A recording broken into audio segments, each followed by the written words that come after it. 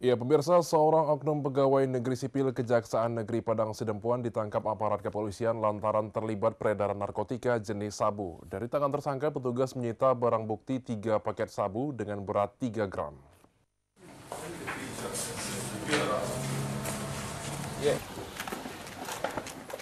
Tersangka AMH alias Aden PNS Kejari Padang Sidempuan yang bertugas sebagai penjaga tahanan ini tak berkutik saat digelandang petugas ke Mall Polres Padang Sidempuan. Tersangka ditangkap saat transaksi narkotika jenis sabu di salah satu rumah di Jalan Jenderal Sudirman, Gang Lancat, Kelurahan W1, Kecamatan Padang Sidempuan Utara. Petugas yang menerima informasi dari warga langsung terjun ke lokasi hingga akhirnya menangkap tersangka saat menunggu pembeli berikut tiga paket sabu di saku celananya serta barang bukti lainnya satu unit handphone dan slip transaksi pembelian narkoba dibawa ke Mapolres Padang Sidempuan guna pemeriksaan lebih lanjut.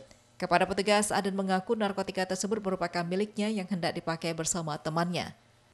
Sini kau salah. Lagi ngapain? Lagi duduk, Lagi nunggu?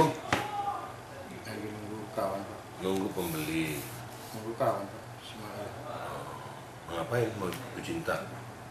Ya, rencana sih mau ngajak dia. Mau ngajak apa? Homo, kau homo apa? Ngapain? Ngajak ngapain? Maki lah, Pak. Maki make. Menurut Kepala Satuan Reserse Narkoba Polres Padang Sidempuan, AKP Charles Johnson Panjaitan, tersangka merupakan residivis kasus narkoba yang baru bebas setahun belakangan ini. Tersangka juga terlibat peredaran narkoba di kota Padang Sidempuan.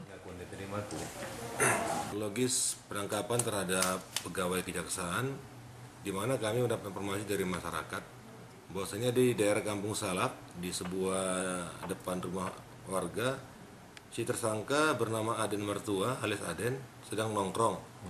Di situ kita lihat dia dan langsung kita lakukan penangkapan.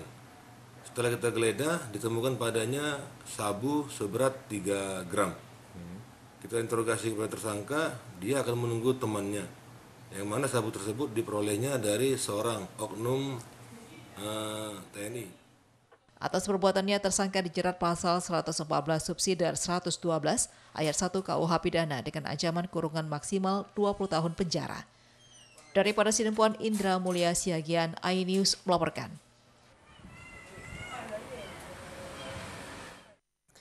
Ya, kasus kekerasan dalam rumah tangga yang dialami seorang ibu rumah tangga yang diseret suaminya dengan mobil di tebing tinggi kini dalam proses penyelidikan pihak kepolisian. Namun polisi belum menentukan pelaku atau suami korban sebagai tersangka.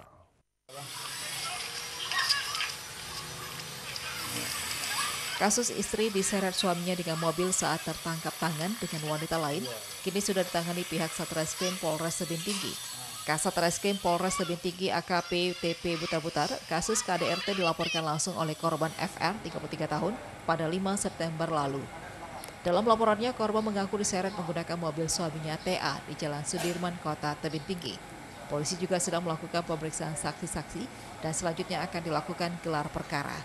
Jika memenuhi unsur pidana, pelaku akan dijadikan tersangka.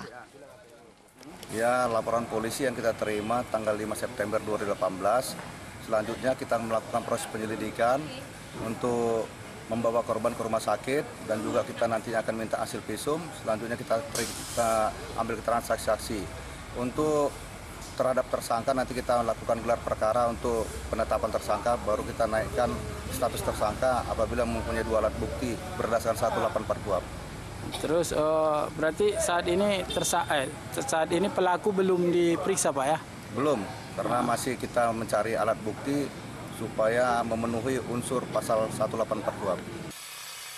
Kini korban masih berharap agar suaminya dapat dihukum seadil-adilnya atas perbuatannya. Jika terbukti bersalah, suami korban terancam 15 tahun kurungan. Hingga saat ini korban FR masih melakukan pemeriksaan ke rumah sakit dan berobat jalan. Dari Kota Tebing Tinggi, Abdullah Sani Hasibuan, iNews melaporkan.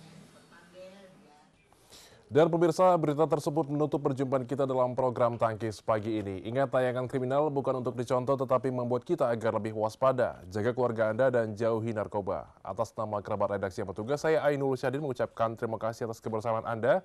Wassalamualaikum dan sampai jumpa.